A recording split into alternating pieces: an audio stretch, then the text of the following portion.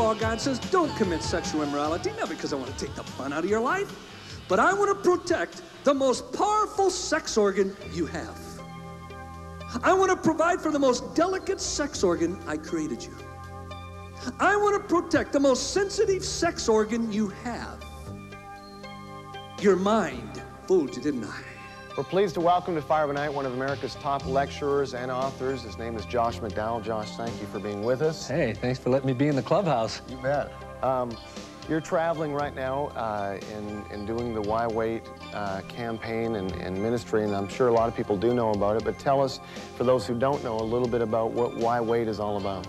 Why Wait is about presenting a positive message about uh, God's perspective of sex and sexuality, why he says to wait, and it's using every method of um, live conferences, uh, concerts with the great band Petra, yeah. which I love to be a part of. And then we just finished a film on um, the whole issue of AIDS and the age, uh, uh, sex in the age of AIDS, and who do you listen to, yeah. that uh, really addresses the issue of sexuality. And that's what Why Wait is about. Why Wait? And then we give the answers.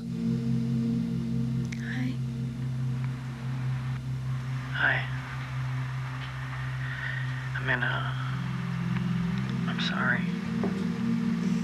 Not your fault.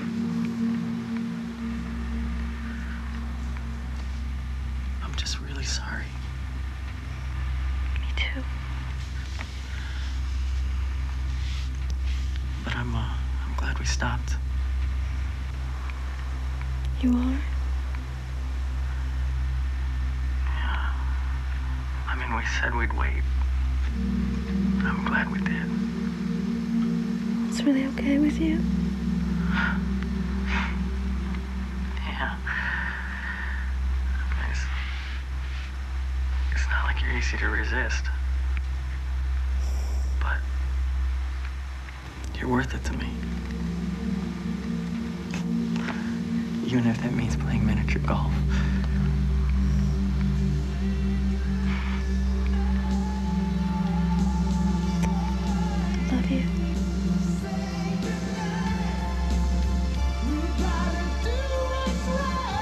17-year-old girl, 17-year-old girl talking to her high school friends who had been kidding her about her virginity and everything else. Finally, she said, I'd had enough. And she said, look, I don't want any more jokes about my virginity. I don't want any more pressure to become sexually involved.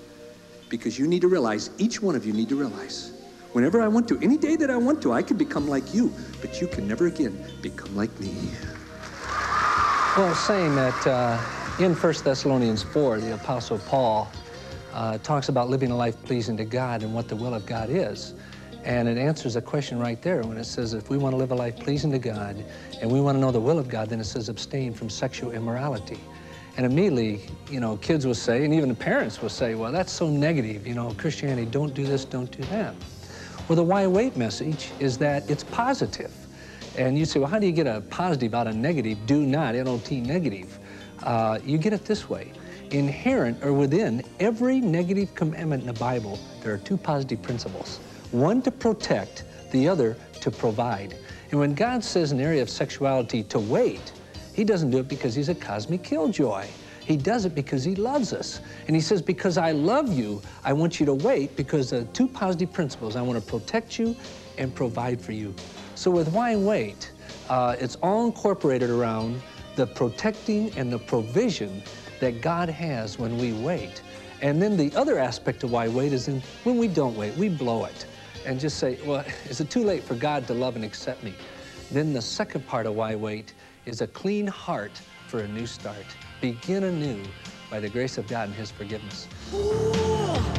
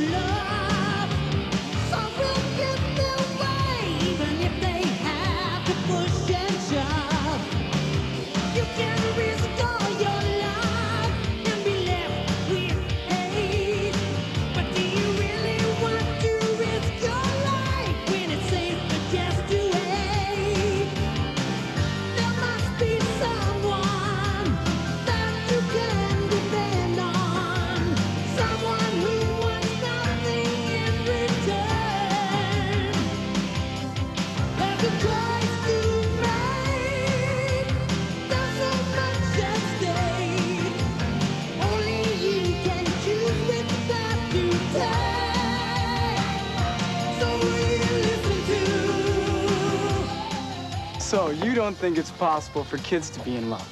Oh, no, I'm not saying that. What happens is kids get confused between the intimacy of love and the intensity of sex.